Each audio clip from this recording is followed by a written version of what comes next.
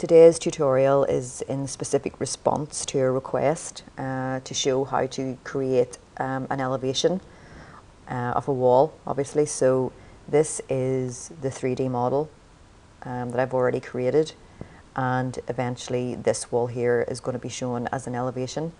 So I've literally got like 15 minutes to do this because um, I only have about 15 minutes video time. So I'm just going to crack on. Sarah, I hope um, you're able to follow this okay. If you have any queries, just give me a shout.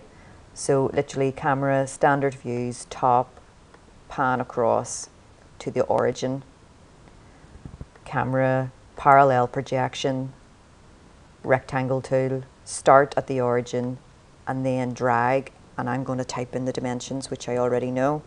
5900 then a comma to separate them 5300 then I'm going to select the offset tool type in the width of the wall. And now I'm going to create the chimney breast.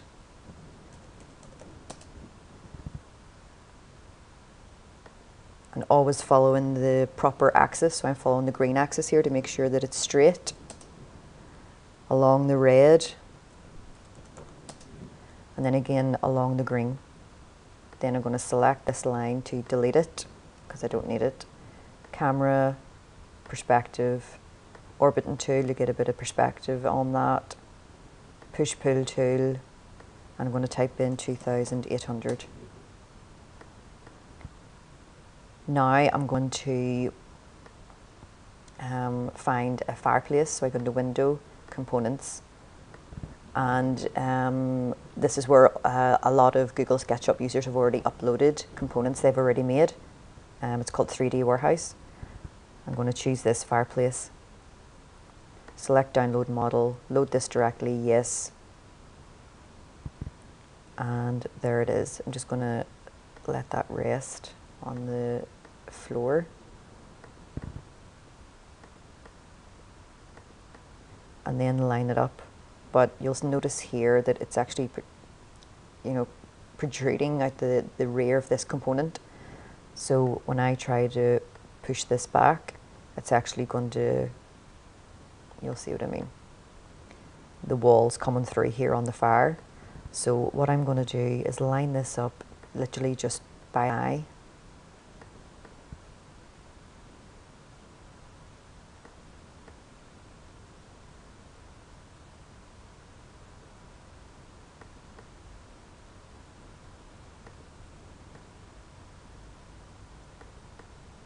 That'll do. And then I'm going to hide it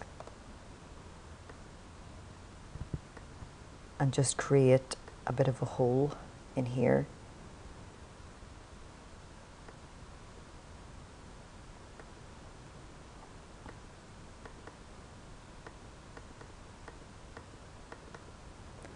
so that uh, that fire has room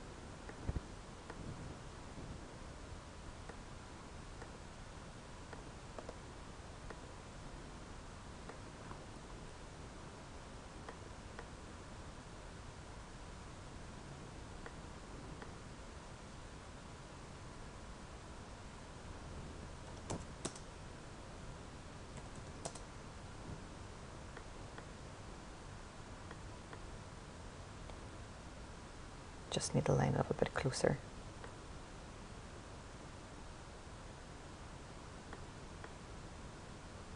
Okay. Remember I mentioned the Zoom Extents tool in the previous tutorial. I said to you before, sometimes you can get lost. If you click that, it'll take you right back out again to the entire model, which is extremely handy. I'm actually going to scale this a little. This is the scale tool because it looks a bit short in height. Okay. Now what I'm going to do is create um, two windows either side. Again, components, type in size window. I'm just going to use this one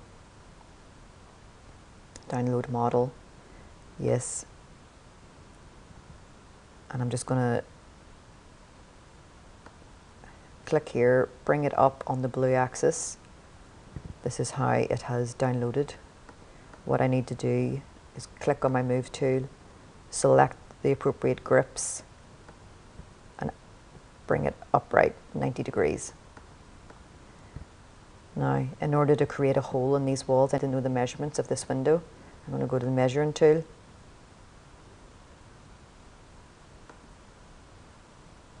One oh nine two point two.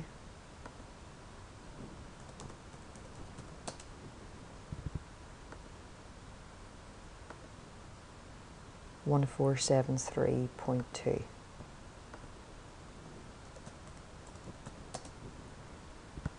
I'm just going to hide this for a second.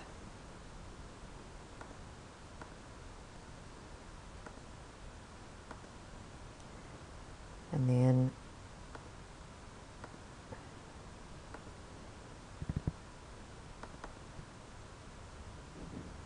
create, press M and Control to create a copy of that. Slide along the red axis so that it's level. And now what I'm going to do is line this up. Actually, it's not too bad as it, as it is at the minute. I'll just move it over a wee bit. That'll do. I need to now measure the distance here.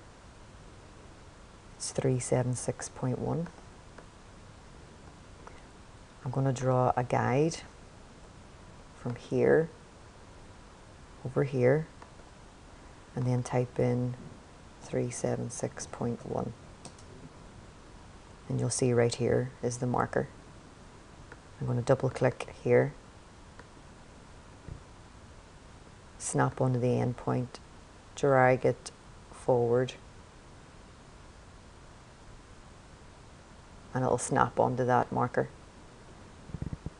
Then what I'm going to do is get the push pull tool, push through push through.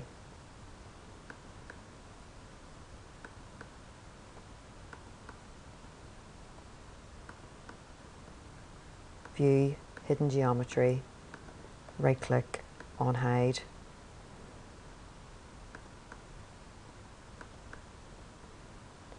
Select the move tool, snap on to the corner or the end point and it will snap into place there.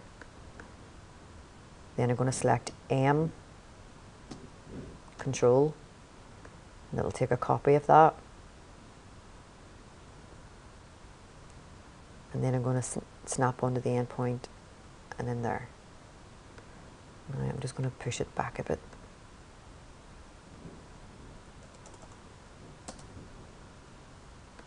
Push this back a bit as well with the move tool. Now I'm going to paint onto the walls the material.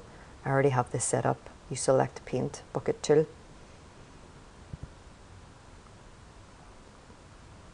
I'm going to go to in model and scroll down to this wallpaper. This is actually a JPEG that I've already loaded into SketchUp.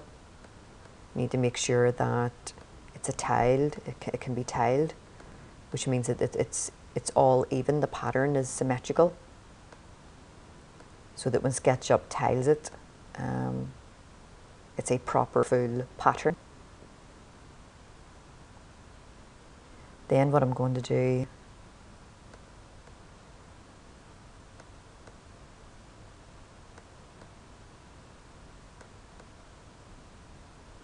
is create the ceiling. So that you literally just connect these two lines and it'll, it'll fill that in.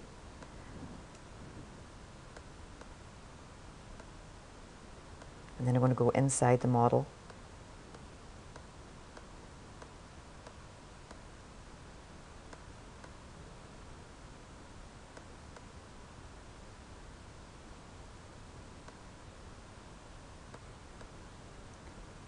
and I need to do this because I'm going to select the follow me tool so that I can include coving all the way around.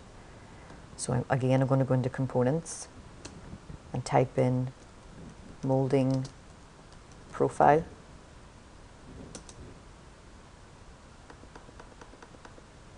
This one here.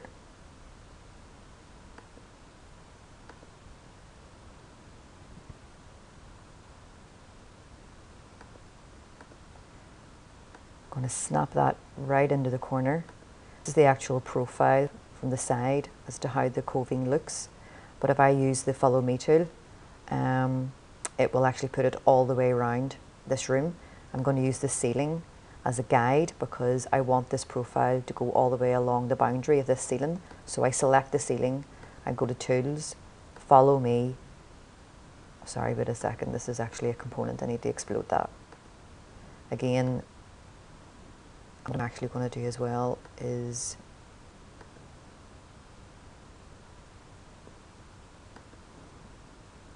just paint that to make sure that it's white. So, tools, follow me, select this, and as you can see, that has created coving the whole way along uh, the, the edge of the ceiling, which is a pretty cool function, to be honest. Um, and that's basically our room.